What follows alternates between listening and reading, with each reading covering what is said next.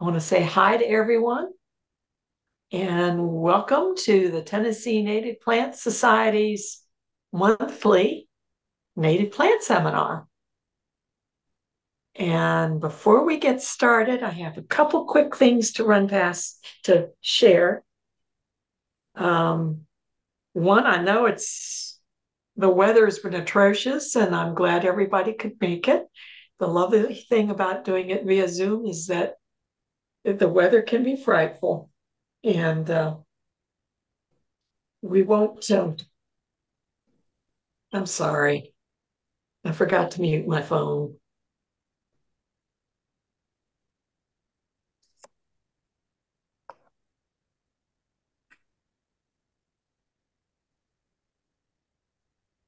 Okay. Um, sorry about that. I apologize. And Normally Karen, I'm, maybe I'm good about it. Karen, Karen, maybe remind everybody to mute themselves too. That's a good idea. Everybody should mute themselves at this. And uh, except for Mary. Please don't mute yourself, Mary. And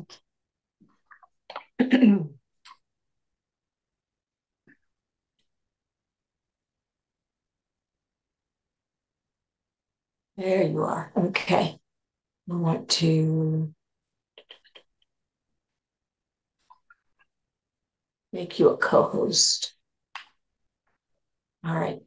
Um, a couple short announcements. One is I have a message from Rita Venable, um, who's a member of TNPS. She's been on the, she's participated in a lot of ways in TNPS. Uh, she's hosting a few segments of Volunteer Gardener on NPT. She's done it a few times before, uh, but she has a few more segments that she's doing in 2024. And she's looking for good native gardens to feature on the show. And she's open to suggestions. She's asking if uh, you, any of you listeners, have a beautiful garden that you want to show off or know of someone who does, please contact Rita at ritavenable.com. It's just Rita at Rita Venable, one, one word, dot com. And if you forget her, you can just contact, just, just access me through info at tnps.org and I'll pass your message along. Okay. So, and I want to let you know that we have almost a full slate of seminars coming out coming up for this year. Um, the next next month in February on the 20th, we have John Mannion talking about native ferns. On March 19th, we have Steve Murphy from Belmont University talking about the return of the cicadas, which, if you haven't been read up on it yet, there's a major emergence occurring this year in Middle Tennessee. Um, and then in April, we have Symbiotic Schoolyard with Jenica Peterson, who wrote this. It's a new curriculum for middle school students that is entirely on native plants. So that should be really good. And if you know of any teachers who might be interested, please give them a heads up and make sure they're invited to attend that one. and now, without further ado, uh, I'm going to welcome tonight's speaker, Mary Priestley, who's well known. She's past president of TNPS She's still very active in teaching classes, Botany 101 in the uh, uh, Native Plant Certificate Pro Certificate in Native Plants program down in uh, Chattanooga. And she's going to be talking tonight on evolution of flowering plants. This is going to be a, a shortened version of the class that she offers for um, the certificate, but it should be really good. I've already gone through the slides. Fabulous. She's going to keep us she's she's really going to pour a lot of knowledge into our heads in a short time. um, Mary is a Sewanee Herbarium Associate. She's editor and illustrator of the Friends of the Herbarium newsletter. She's quite an artist. She did note cards for TNPS way back in the early days. Uh, she's author of several books Sewanee Wildflowers in Color, Williams Wildflowers, which is a children's guide, What If Trees Could Walk? It's a Sewanee tree book, and Fiery Gizzard Voices from the Wilderness. So um, she assisted in writing and editing our TNPS field guide, Wildflowers of Tennessee, the Ohio Valley, and the Southern Appalachians. She's also edited Under the Sun at Sewanee, the third edition. She's been nature journaling for 15 years and conducted several nature journaling workshops, one for us on the seminars in the seminar series a couple years ago. So, um, without further ado, I'm going to say, uh, Mary, I have put you in as a co host. And whenever you're ready, I'll bring up the. Um, we're going to, Mary's had some computer issues. So I'm presenting the slides and Mary's doing the talking. So I'm not sure how this is going to work. It may mean that our video bounces back and forth. I hope not. But we're going to try and get this, work our way through this and see if I can bring up the slides now. Thank you, Karen. Um, okay. Um, can everybody see the slides? No. You can't. Okay.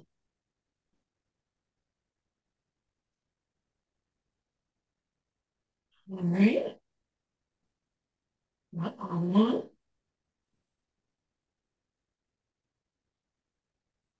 Okay.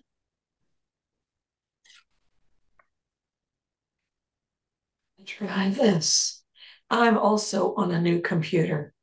So bear with me. I am trying to figure out how and why things are in different places on you could probably computer. take me take me off as a co co-host if that makes any difference.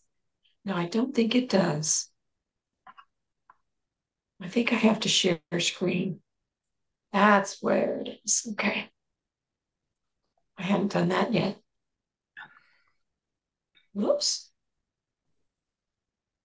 It's coming. Can you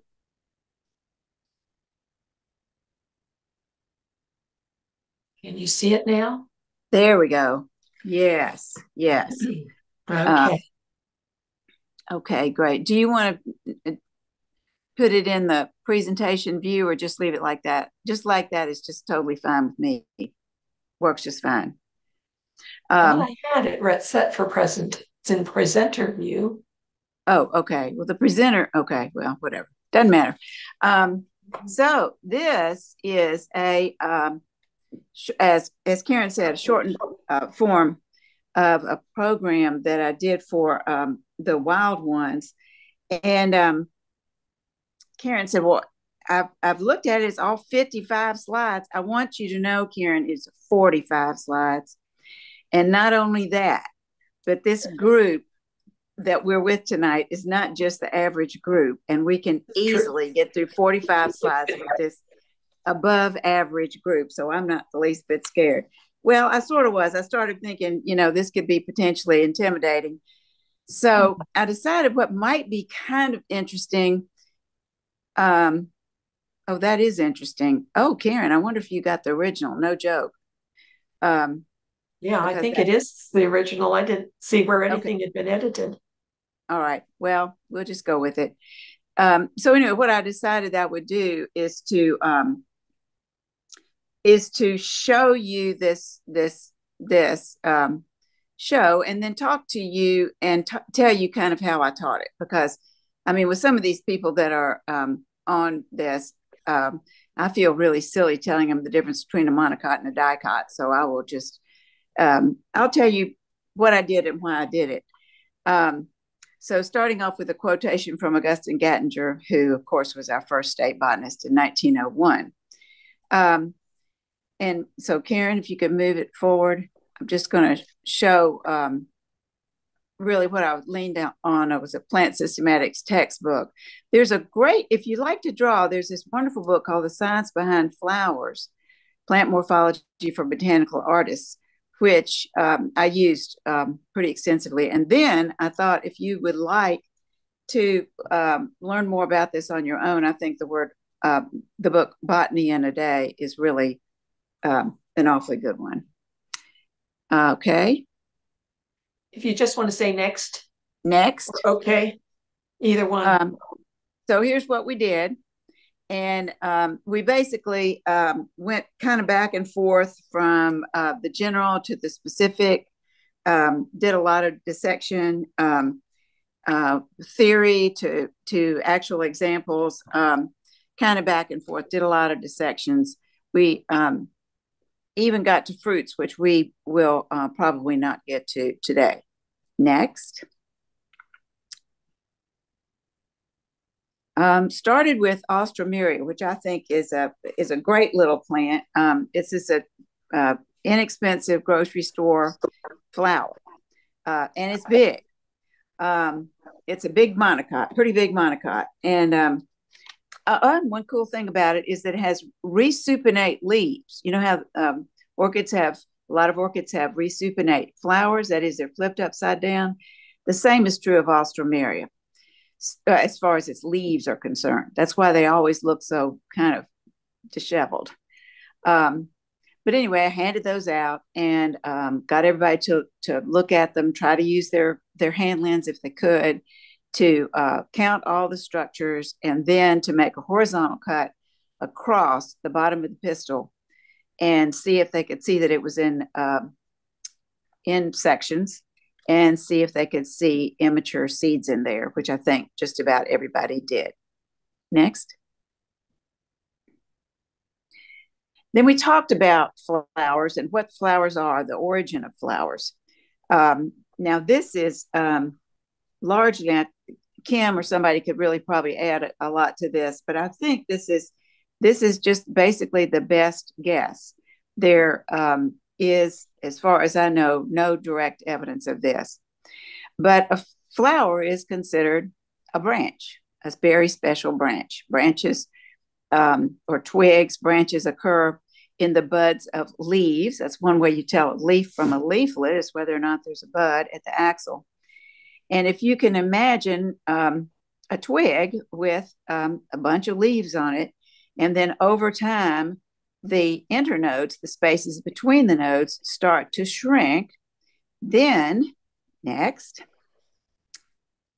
you think about um, also, you've got to deal with um, both female and male structures. So, uh, female structure, if if it starts out as a leaf, um, you could really almost imagine that it looks like the scale of a of a pine cone. Really, that first that second drawing first one right past the female symbol. Um, a couple of uh, potential ovules out on a leaf. Then, as evolution proceeds, this is, you know, within the population, not within the organism. Within the population, the, the edges of these leaves might curve in somewhat, curve in some more, and you get the development of sticky hairs or something that might indeed collect pollen, a little more closing in, and then um, finally arrive at a structure that is recognizable today as a pistil. All the way closed up ovary at the bottom, some kind of a tube, and then those sticky parts up at the very top. For males, you don't really have a reduction of the um, gametophytes or, um, uh, well, in this case, it's pollen you have all this potential um, pollen sitting out on a leaf. And then over time, the leaf curves and curves, and um, and there is development, and then you get a, a stamen, which has got zillions of little pollen granules inside it. Um, again, this is really somebody using their imagination, and I think this is just the best story that people have come up with so far. Next. Ta da!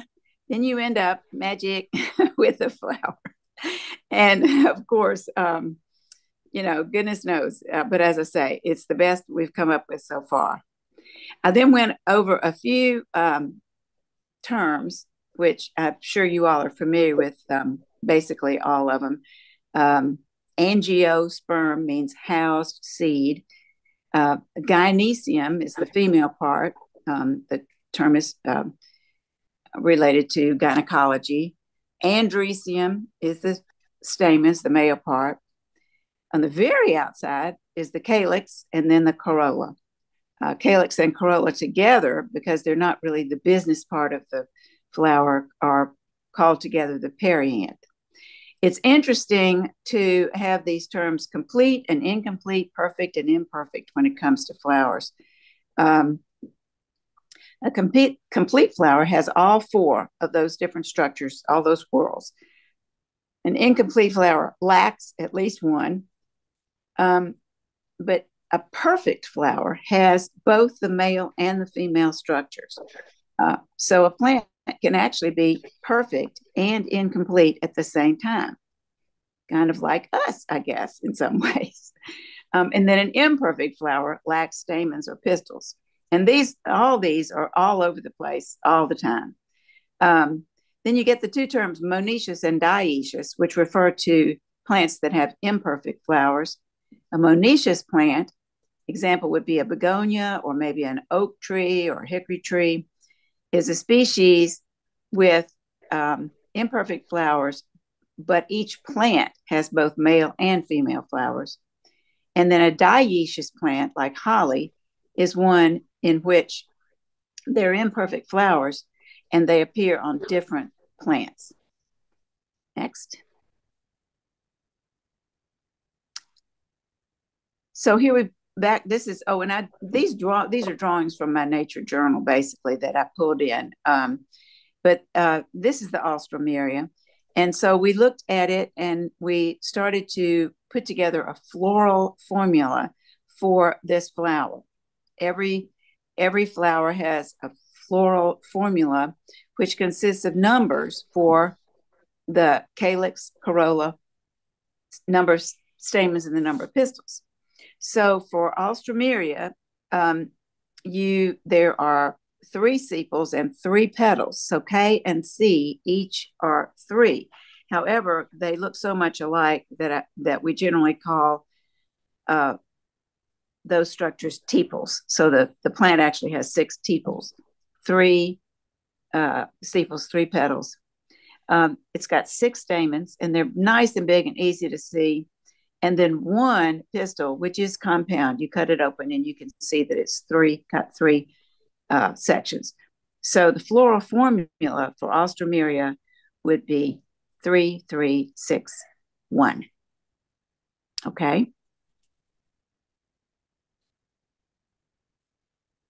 Then um, we looked at, at uh, symmetry and um, ovary position um, uh, actinomorphic or radial flower with radial symmetry. You can cut with um, in, in, in, multiple lines and you can still get halves, whereas a zygomorphic or bilateral flower can be cut in half along only one plane. Um, there are different different positions of the ovary relative to the um, other structures in the flower. And um, so students were asked to describe the symmetry and ovary position. And um, Alstroemeria is actually um, bilaterally symmetrical. It's got a definite top and bottom. And um, the ovary is inferior. Okay. Then we step back to um, what's called a really a, a basal dicot, yellow poplar, one of uh, a plant that shows a lot of ancestral characteristics for um, for a flowering plant. And this was really Charlotte Freeman, the person, I don't know if any of you Chattanoogans know her, but she's a really gung ho. She collected all these yellow poplar flowers for me, froze them, and then dragged them back out last fall. And um, they were just barely, barely um, good enough to, to see the structures. But we did look at it pretty closely. And um, we found that it's got three sepals, six petals, multiple stamens, and multiple separate pistils. Um, it is a radially symmetrical flower, and the, the ovaries are have superior position. These are a lot of these are characteristics of um, more ancestral um, flowers, and so this was a good one. This would be a good starting starting point, I think. Okay, next. Um, then we looked at at the the basic differences between monocots and dicots. Um, most of these structures are really morphological. Uh, monocots, for instance, um, uh, well, I guess uh, cotyledon is a little harder to see sometimes, but definitely flower parts in threes, um, leaf veins parallel, and then uh, diffuse root structure are pretty easy to pick out um, with most monocots. Um, if you do a cross section of the stem, you can see how the vascular bundles are arranged. Um, they're just kind of scattered throughout the stem. In contrast to that, uh, dicots, as their name implies, have two cotyledons per seed. Uh, flower parts are in fours or fives, the veins um, of the leaf are netted. They often have a taproot, and the vascular bundles are in a ring in the stem um, with a vascular cambium. This allows for uh, secondary secondary growth uh, or wood. Um, there aren't any true woody monocots. I mean, there's some. Well, I mean, there are palm trees and there's bamboo and what smilax is somewhat kind of semi-woody, but um, there are no woody um, monocots uh, in the sense that that we're describing them here. Okay. Oh, okay. So this um, that previous slide, um, Karen, I, that was a reminder to me that if there are any questions, um, that would be, um, you know, you could put them in the chat, and maybe you could uh, pull them out at, at times like this. There are, I think, two or three these little interrupting slides, um, if you like. Um, but let's move on to number the next slide. Um, so we had I got at the um, um, nursery some little little jumping jacks, uh, Johnny jump ups, excuse me, and uh, we looked at those. Um, and I tried to get people to do drawings, and um, because I think really, you know, any kind of hand eye stuff um, is very helpful for learning. Um, and um, so they they drew it. They looked in the flowers. Um, they decided this was a dicot. Um, it was a it was perfect and complete. It has everything. All the all the structures, both male and female structures. Um, it is bilaterally symmetrical. You can only cut it in half one way. Um, and the ovary is superior. Um, floral formula 5551. So we just kind of went through that um, with that flower. Took a little more time than we're taking here. Um, next. Now, cool one that, that we looked at, and this is uh, so I'm, i was doing this for the wild ones, and occasionally, and I know some of you all are probably members of that group, they will say, "Oh, you know, we have to do natives. We have to do natives," and I will say, "Well, guess what? I'm not going to to dig a lot of natives up to show you this stuff." So I would go to the grocery store and so forth. And a, uh, spathophyllum or spathophyllum is a very common um, house plant that is closely related to our um, uh, Jack in the Pulpit and um, has a hood like space in underneath which or inside which is a, a spadix with much reduced incomplete flowers, male and female flowers. Uh, when you do a floral formula, um, you do a, a, separate one for the male flowers than for the female flowers. Interestingly, in the spathiphyllum, the um, male and female flowers were interspersed among each other. They were they were not grouped separately the way they are in our Arisaema, our native plant. So that was kind of see, interesting to see um, the difference in arrangement. But basically, their plan is the same um, with all these uh, really minuscule, uh, incomplete flowers gathered together on the spadix. Next. Talked a little bit about the history of classification.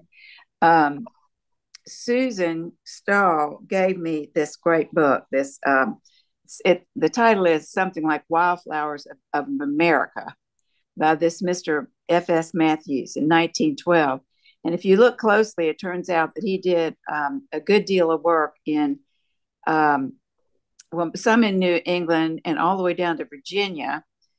Didn't get over to um, the Midwest, or certainly not past the Mississippi or past the Ohio River.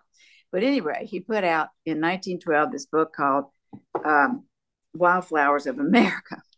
And he's a hoot. I mean, in more than one way. And then look what he says in 1912. And boy, can we relate to this. Regarding that bugbear of the botanical student, nomenclature, it may well, it may be well to make a plain statement of the facts of the case. What is particularly hard to is the fact that the botanists have apparently shaken the names up in a bag and sorted them out afresh. So if you have had, if you have tried, as I have tried, to learn these names of these plants and figure out what family they're in and and try to get them all straight, it um, it's really pretty frustrating. It was for this Mr. Matthews and and it is for us today. It's a it's a complicated thing, but um, anyway, we talked a little bit about how Linnaeus came up with this idea of binomial nomenclature, and he had this idea of grouping plants in what he called natural families, but he had no idea of evolution. He assumed that uh, these all living things were created, you know, the same week or whatever. I'm not sure his um, philosophy. But anyway, he didn't see any evidence of change. Darwin, on the other hand, in the, the mid 19th century, um, came up with this idea of um, evolution by natural selection and um, the idea of common ancestry between groups. So we we began to uh, um, consider nested groupings of plants. Um, which suggested common an- ancestry. And we used morphological characters, that is, um, uh, what we could what we could see in the in the plant's um, uh, exterior anatomy and uh, and and anatomy. Um, then along came molecular data, which is what kind of turned everything on its uh, ear. And now we use a phylogenetic approach called cladistics which insists on um, on um, identifying only groups that have one one uh, single ancestor and so forth. And it, I think it's really very helpful if you think about the entire living world. Um, uh, I used to teach the five kingdoms five kingdom system where you had Monera, that was the bacteria and all archaebacteria. Um, the protista, which were um, single-celled organisms, but it was a it was a grab bag. You had some protists that looked like that seemed like plants, some like animals, and some like fungi.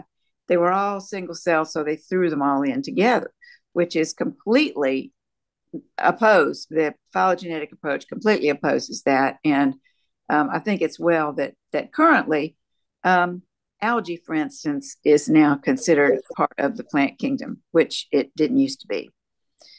Uh, okay. Um, so then I did a, a couple of definitions. Uh, plant systematics is the science of biodiversity and the relationships between organisms. The aim is to discover all the branches of the evolutionary tree of life and communicate this to others in a clear classification system. And I think almost the key word there is aim because it is still really very difficult. There are um, organisms that are classified um, in in two um, kingdoms, for instance, and will have different names in the two kingdoms, and so it depends upon who you're talking to as to what um, what you're talking about. And then uh, evolutionary trees, which we have been trying to put together, a best guess about the history of a group of plants.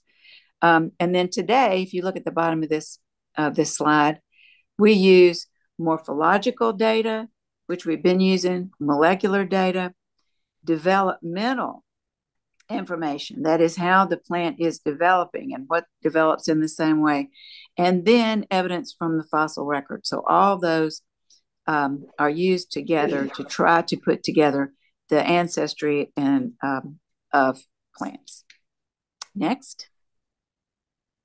And here is the most rudimentary of um, evolutionary trees. Um, some members of the of the rose family.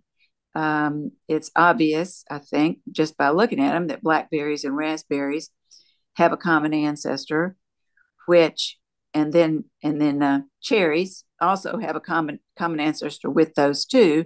But the two types of berries there are more closely related to each other than they are to the to the cherry.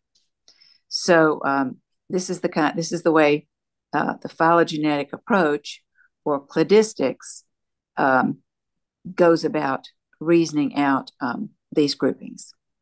Okay.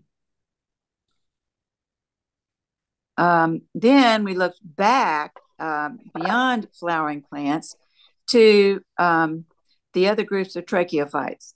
Um, it's interesting to note that ferns and fern allies are considered two separate groups. They both reproduce using spores, but they have different um, evolutionary basis.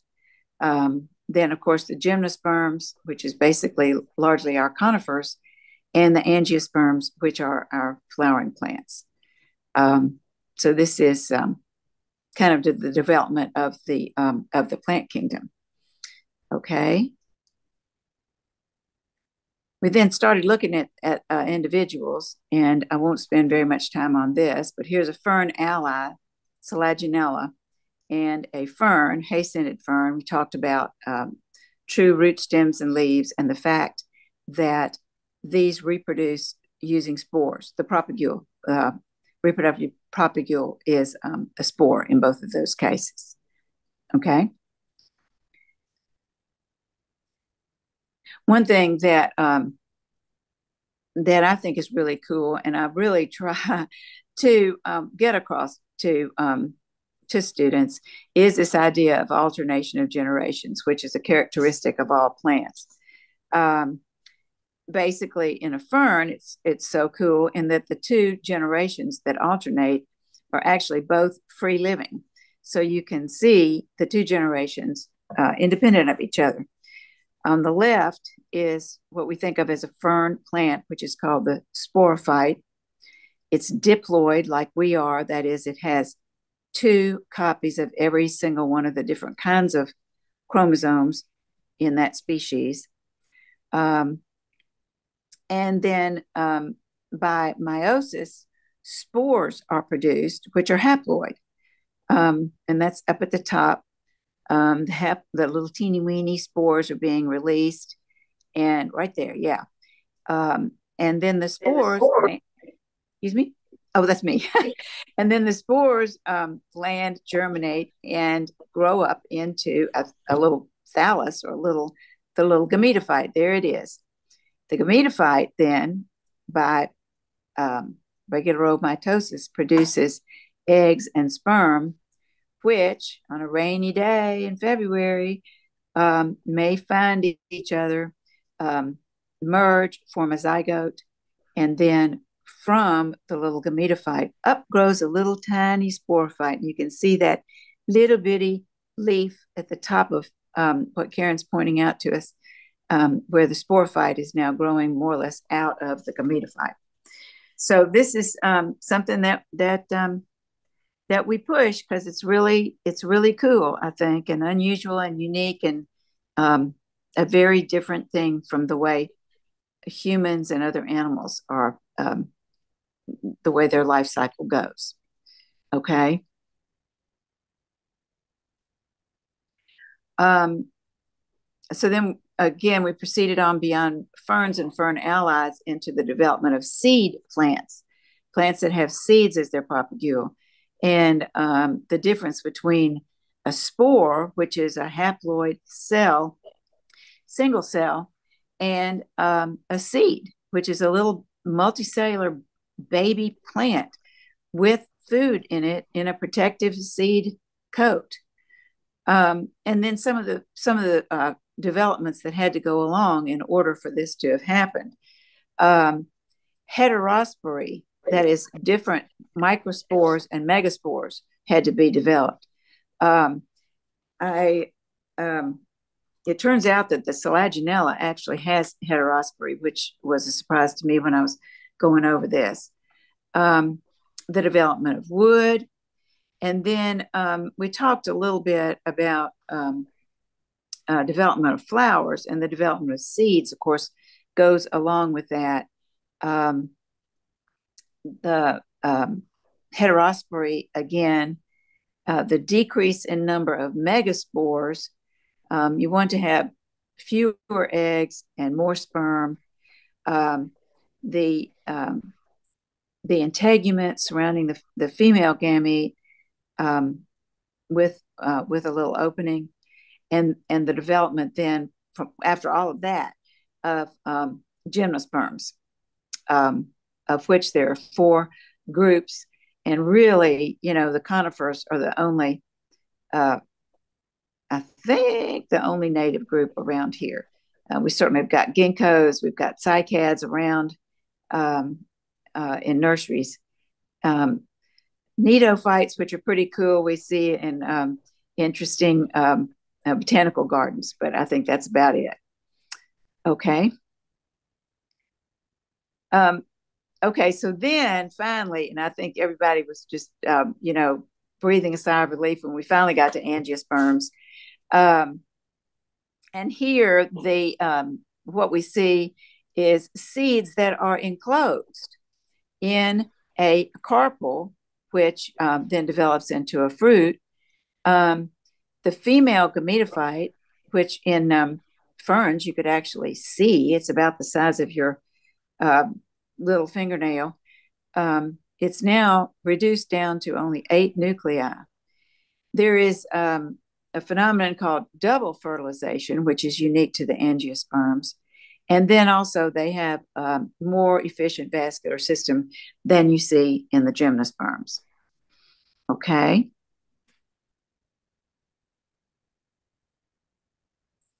And this is the slide that I love the most. So um, all of a sudden, angiosperm, well, of course, all right, now wait. So John Muir said that everything is hitched together. So you can't just look at development in terms of one type of phenomenon or organism. However, if you want to look at it from the point of view of, of angiosperms, angiosperms change the planet. With the development of this huge variety of flowering plants, you get a huge diversification of pollinators insects and birds and others that pollinate these flowers, and a huge diversification of seed dispersers. Again, organisms that disperse seeds. Um, herbivores, all these invertebrates and vertebrates that eat plants, then developed um, uh, huge um, diversity. And the microorganisms com- comprising the plant microbiome, all those little bacteria and fungi and all those guys that that interact with this huge variety of plants. Um, biogeochemical cycles were affected by the development of angiosperms, the you know the water cycle and the carbon cycle, and so forth. Agriculture would not have developed had it not been for the develop for the rise of flowering plants. There would not have been anything to farm. And with the rise of agriculture, you get the rise of human civilization. So you see it all, it all comes down to yellow poplar, which was the very first angiosperm, just about, um, changed the whole planet. I love that thought. I love that thought. Okay. Um, next. So, Karen, do we have any anybody saying anything, or they're just speechless with? Um... Bill, sorry. Um, that's okay. I, We're good. Because I'm working the, the slides, I can't see this chat very easily. See, this is you are you are working double time here. I really appreciate it. Okay, Yeah, well, I don't think there's, they're used to waiting till the end questions. Oh, okay. All right. Okay, good. Well, let's move on then. Um, and let's see. Okay, so then we look at three groups of, of angiosperms, and, and a lot of times, um, you know, until you get into a plant systematics course, you really think in terms of, of only uh, two groups of angiosperms, the monocots and the dicots.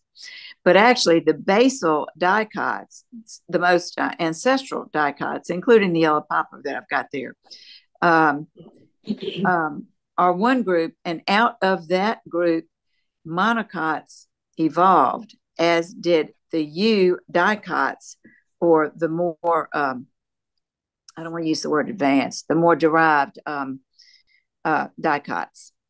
Um, monocots are a much smaller species with a couple of great big families in it. And uh, eudicots is a is a big group. On Sat on um, the other Saturday when I was teaching this botany one, virtually everybody in the class had the Native Plant Society uh, manual, and I said, let's turn and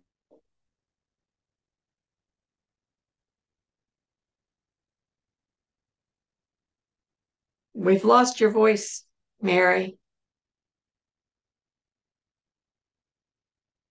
If you can hear me, Mary, we've lost sound for you.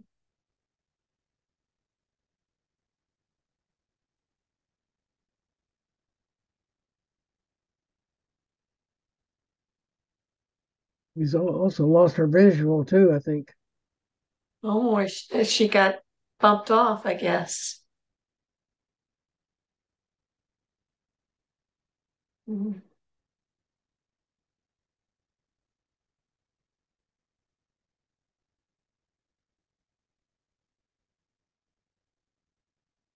Let's give her a chance to come back on.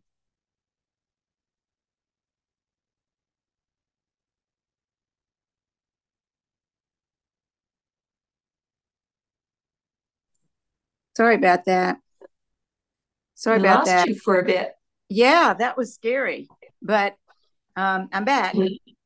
So anyway, um, these are these three groups, and um, let's see. You've probably gotten plenty of time to look at that slide. Um, let's look at the next one.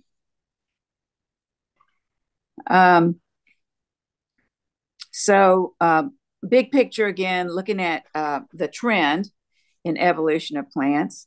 Um, how we got to angiosperms from algae, little single celled aquatic organisms, up to um, terrestrial plants, beginning with some kind of relative of bryophytes, uh, ferns and fern allies, gymnosperms and angiosperms that have this double fertilization, and um, flowers and fruits that attract pollinators and seed dispersers. And then more development of angiosperms um, going from simple to compound pistils. If you can, if you can picture um, the yellow poplar with all those simple pistils all clustered together in the center of that flower, um, this uh, larkspur over here um, is uh, is a ranunculaceae, and it is got um, fairly um, ancestral flowers too. It's got three simple pistils that are separate, which is pretty cool. Um, other members of the of the ranunculaceae do that same thing, and that is a considered an ancestral trait. Um, when parts start to fuse, um, then you you get more um, development, and then moving from superior to inferior ovary. Um, supposedly, the placement of the ovary beneath the attachment point of the petals and sepals um, is in, is a, a development advancement. Okay, next. Oh boy, yeah, let's skip this. This these are I definitely skipped that.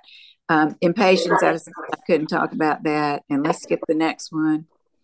Um, oh, this was a really pretty cool thing. This is these are some photos that um, Charlotte Freeman gave me. So we looked at at this just through the through the photos. We counted the calyx lobes and the corolla and the, the stamens and so forth, and and looked at the differences. She had she had uh, taken her flowers apart to show all this stuff. So uh, we um we looked at it, and let's look at the next one. Next. Oh, okay. So here's a uh, the first mint. This I guess is the only mint that we looked at um, obedient plant. Another great quote from this fellow who wrote this book that Susan gave me. When one reaches the mints, whatever trouble existed before seems like child's play. Here is an order of plants which was apparently created for the express purpose of convincing the amateur that he can never master botany. So there. so we looked at that, and um, it's really tough, you know, when you're just looking at pictures. But anyway, that was what we did. And again, she she dissected these, so it was fun to look at them. Uh, next.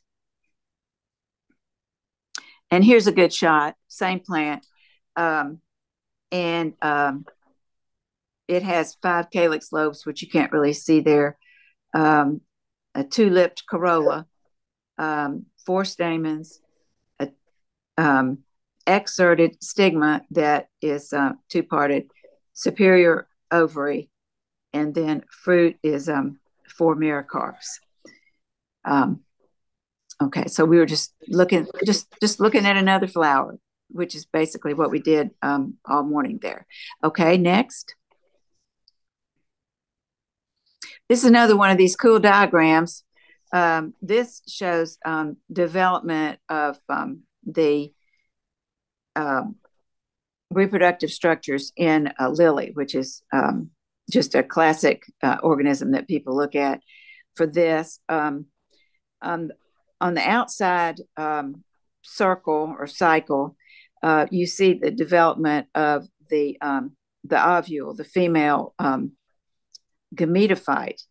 And as a matter of fact, at the end of those arrows, and of course this occurs inside the ovary, at the ends of the air end of those there you go.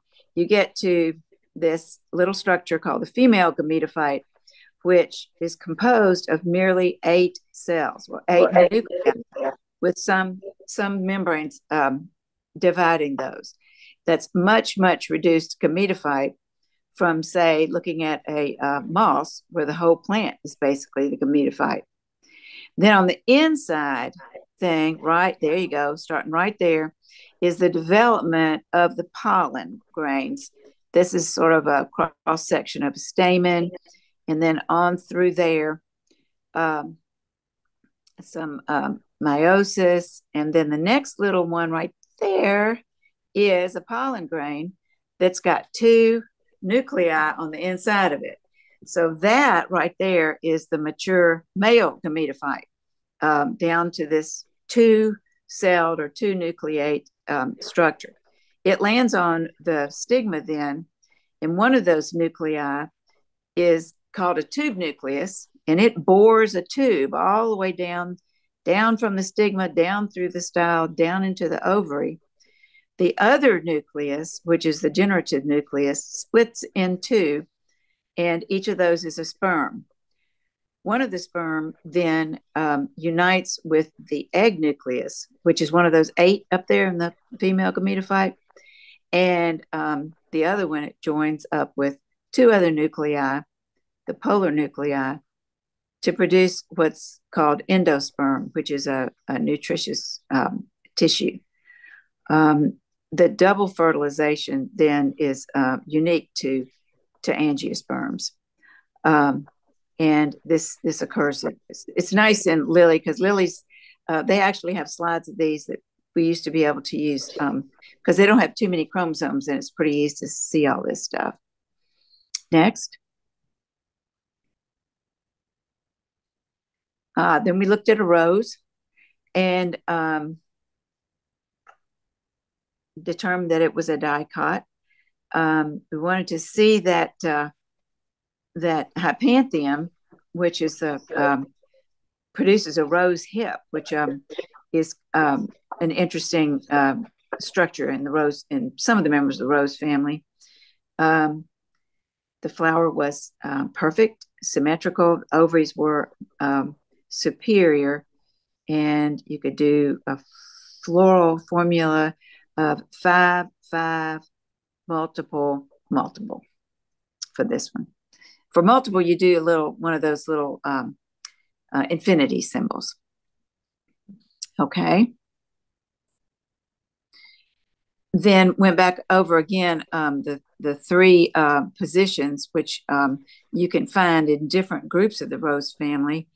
Um, the ovary can either be superior, inferior, or half half inferior, and so um, it's kind of fun to look at that, think about um, those different groupings of the rose family. Next. So at this point, we're making a mad dash through some of the major families. Um, this is um, two types of uh, lady slippers and uh, uh, Platanthera that um, uh, three different types of orchids and uh, talked a little bit about some of the unique characteristics of orchids.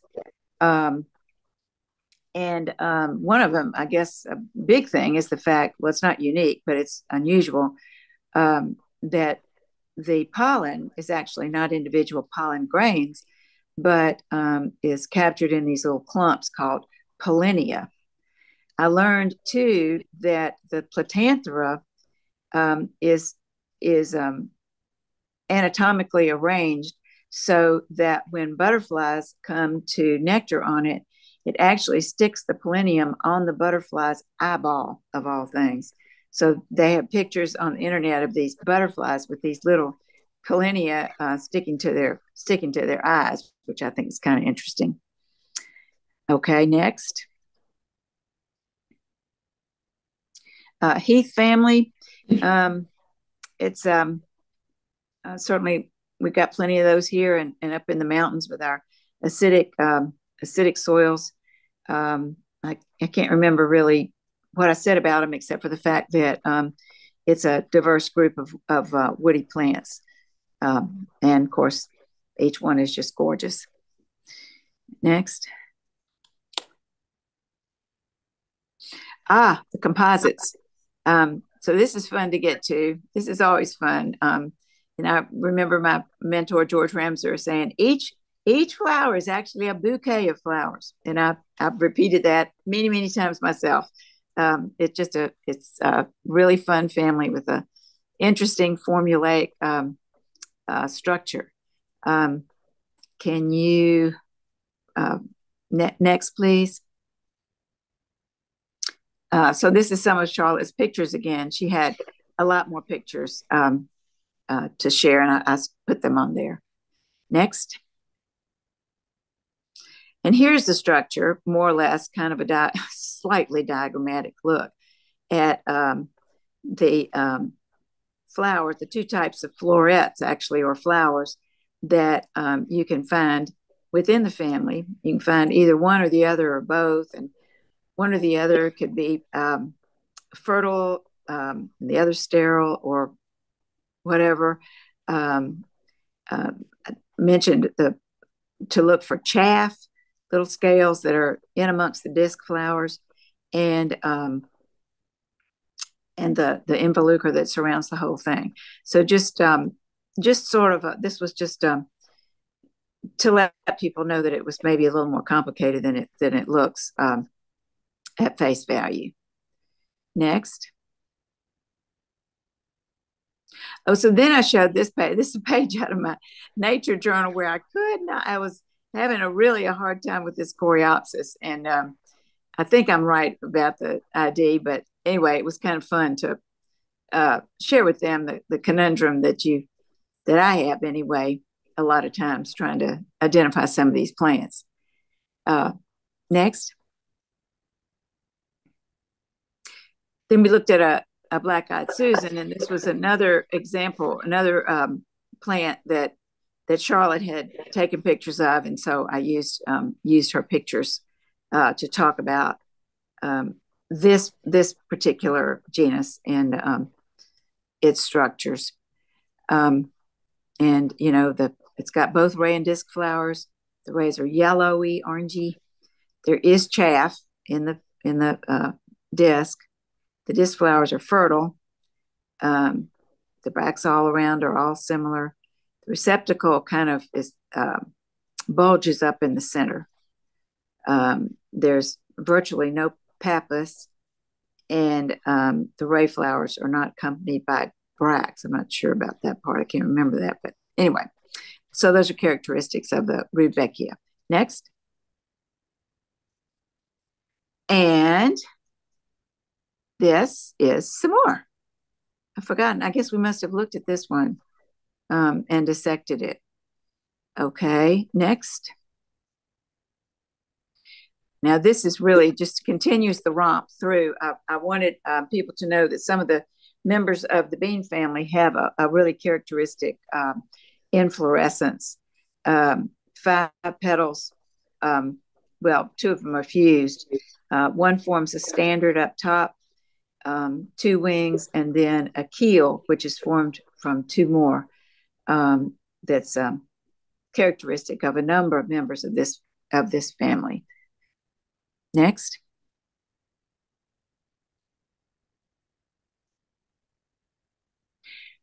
So I had almost nothing in my nature journal about um, members of the parsley family, uh, carrot family, whichever, Queen Anne's lace and its its relatives. So um, uh, this was just a, a, quick mention of that family um, using this uh, Taenidia. Next. Oh, and I don't know even why I put that in there. So this was gone. This this was oh i know what it was so uh, this okay the um i got some flowers out of the um greenhouse here at Sewanee and um he had this blooming ginger. And he said now i know those wild ones they're not going to want to look at anything that's not native. And i said well i don't care. I'm i'm taking it. And so um, i took it over because i do think that that people, including the wild ones, are interested in the diversity. And so I had a, um, an, an, inflorescence there to show them, and I just stuck this um, stuck this little rhizome in in there to the picture to remind myself that that was what we were going to talk about. So we did that. Next. Um, this is uh, uh, a little, um, um, well, what is it? Crest the Crassulaceae Diamorpha elf orpine, which is a, a, plant that we're on the edge of the um, range of this little plant. Talked and uh, I did have um, this little um, plant from the grocery store that everybody uh, got a chance to to dissect. So we went through that. Next.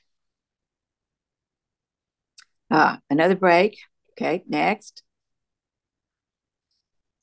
uh, cactus family. I think a lot of times people are are, are uh, surprised to find that we have cactus in our uh, our native flora.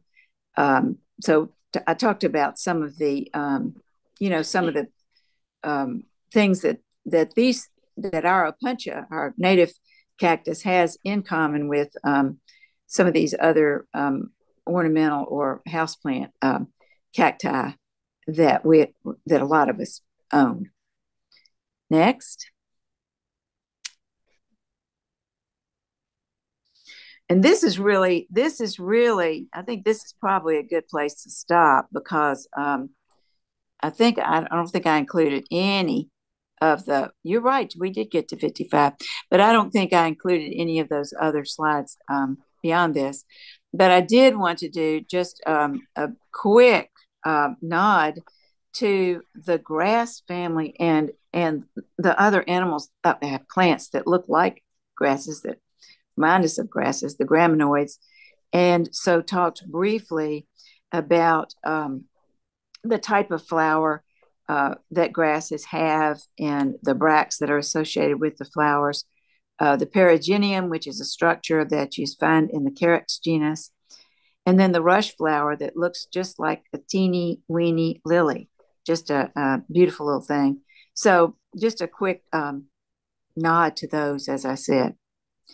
Um, so then, just jump all the way to the end, the end, and um, this is um, so funny. Did you get the joke? The end. Um, uh, this is um, one of Charlotte's little. She was so ecstatic to be able to to actually uh, photograph this this bumblebee headed into her little turtle head. So this that was that was my my program, and um, and I know we kind of dashed through it, but um, I'm certainly happy to answer questions. All right. Wow. That was a lot. It's a lot to digest. well, I think most people already know most of it. I'm hoping right. that it was just kind of a tour through, um, you know, what you already know. It's kind of fun to review all that stuff. Yeah, it's mostly a review for a lot of folks, I'm sure. Yeah. And it's a good review.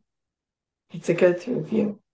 Uh, any questions? I don't see any in, oh, it says two new messages. Fantastic presentation. Thank you so much. From Macy Brown and Carol Reese says thanks.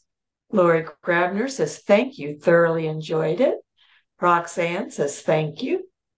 Well, um, Janet Byers, thank you so much. I wish it was reviewed. It felt like the first time. Uh, um, yeah, I think uh, you know, really, obviously, I would. Um, this is the, I think, a tough topic to do. You know, in just as a lecture, um, because uh, well, you all are plant people. You know how great it is to actually see these things and get down in there and look at them closely and um, uh, get our hands dirty and our knees. It really needs it needs the it needs the hands on. I think to sort of make it real. Yes, yes. Um, thank you. The illustrations were beautiful, and Valentine, and those were Mary's illustrations. She's quite an artist as well mm. as a musician. Um, lots of thanks. Apparently, very well liked. Well, that's awfully so, nice. Well, this is just a nice group. That's that's explains it. uh, it's seven thirty or Eastern time when it starts. We were, we, oh, okay. This is going back to the beginning. Ah, uh, all right. Well, well certainly it's good to see everybody. I'm so glad. Thank you so much for joining us, Mary. This well, was really thanks for having really me. a good review for all of us. Um, and if it's new to you, then maybe you'd like to take the full course. Yeah, or just Join email Mary me. for a whole class, or get one of the books, then you can take it at this. There's so much to learn about plants, and there's there's such a variety of plants. It's amazing. Mm-hmm. It truly is. Keeps us They're learning. So beautiful. They're so beautiful. Um, all right. I don't see any actual questions.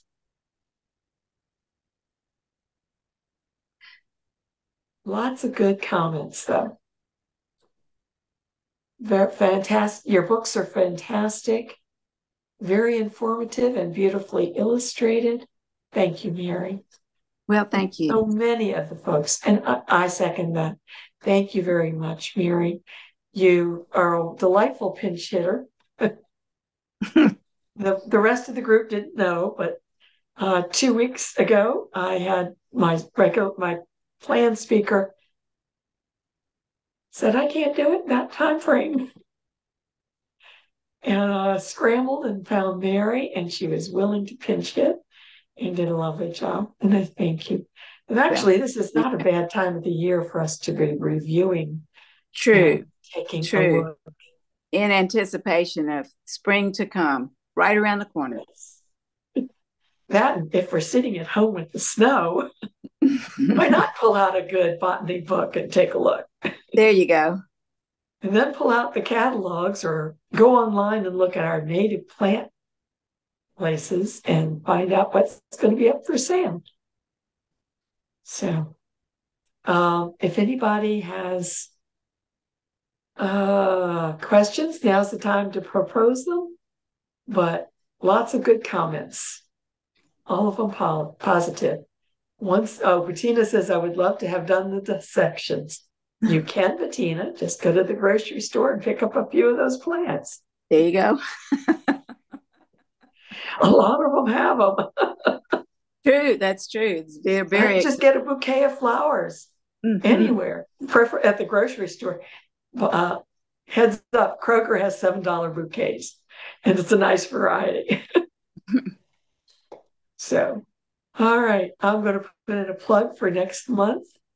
Uh, hope everybody can join us to learn all about ferns. We'll go into more detail, and uh, most of you know that Alice Jensen is a dear friend of mine, and she's back in the hospital. If you want to know, hear more about what's going on with Alice, just stick around and uh, we'll share what we know. Okay.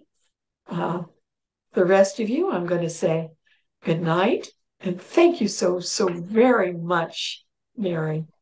Very much appreciated. Thank you, Yeah. Mary. Thank you. Thank you. And it was well attended too.